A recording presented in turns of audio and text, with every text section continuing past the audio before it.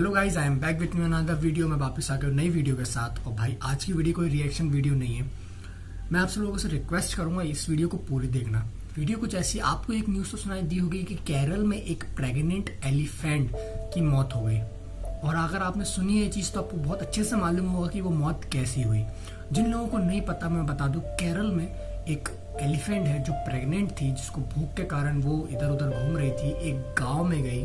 और गाँव के कुछ लोगों ने उसको पाइनएप्पल में क्रैकर्स डालकर उसको खिला दिया और वो उसके मुँह में जाके फट गए।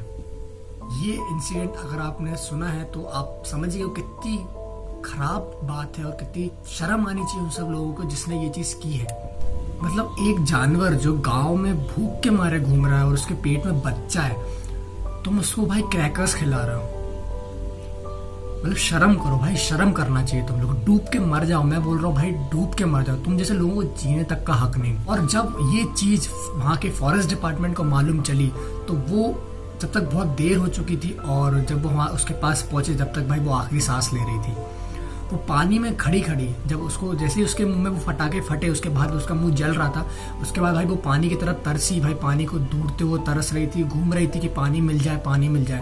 जब जाके एक तालाब में मिला पानी तो भाई उसमें जब तक उसको मालूम चल गया था भाई एलिफेंट को कि भाई देर हो चुकी है, और उसने वहाँ भी भाई हार नहीं मानी, वो खड़ी रही दम से, लेकिन बहुत टाइम बीत गया था।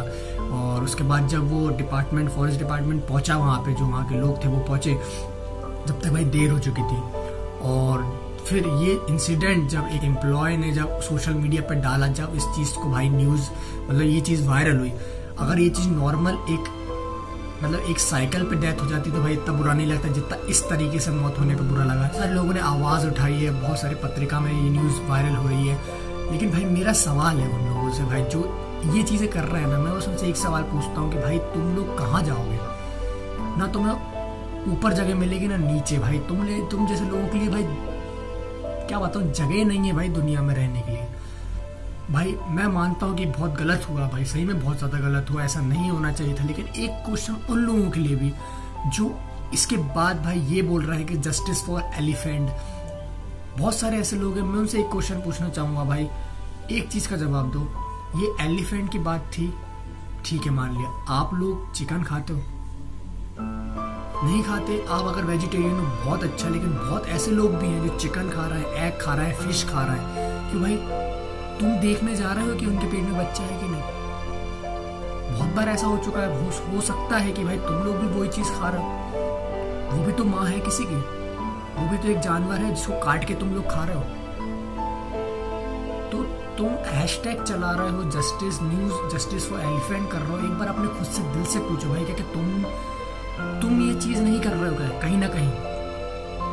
तो मैं आप सबसे रिक्वेस्ट करूँगा, आप लोग भाई साहब अवॉइड करो वेजिटेरियन खाओ, और ये सब चीज़ें बंद कर दो। भाई एग तक मत खाओ, मैं तो कह रहा एग तक मत खाओ, ठीक है?